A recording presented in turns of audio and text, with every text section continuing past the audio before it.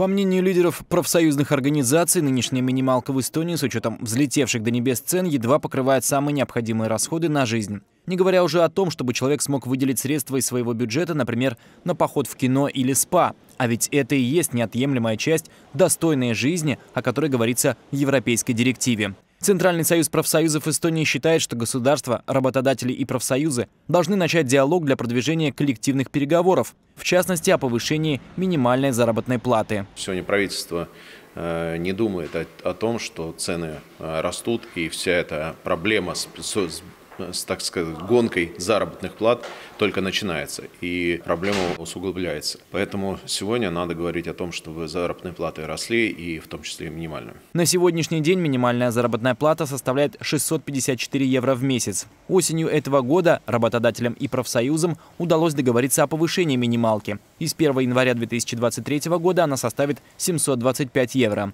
Но согласитесь, и на эти деньги сегодня можно разве что выживать, что не соответствует директивам Европы. Новые директивы уже говорят о том, что правительство должно э, усилить роль э, значимости профсоюзов, достичь того уровня, чтобы у нас было покрытие коллективными договорами до 80%. У нас сегодня только 20%, поэтому это большая роль государства. Олег Чубаров также добавил, что повышение зарплат надо было организовать, что называется, еще вчера. Сегодня же необходимо как можно скорее предпринимать все возможное, чтобы обеспечить людям людям достойный уровень жизни, иначе в скором времени большинство из нас сможет лишь достойно выживать. Вадим Малышкин, Петр Юлевайн, Новости Таллина.